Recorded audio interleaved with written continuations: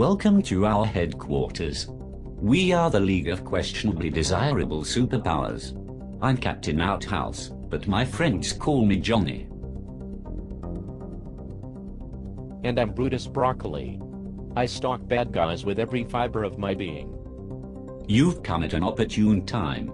We've just received a distress call from downtown. That's right, Johnny.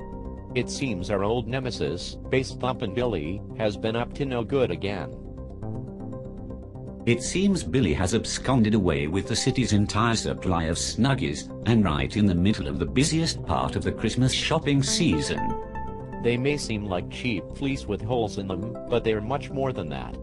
Consider the joy in a child's face when they receive the Snuggie for kids or the adorably fashionable Snuggie for pets. We've got work to do, Brutus. We must save Christmas.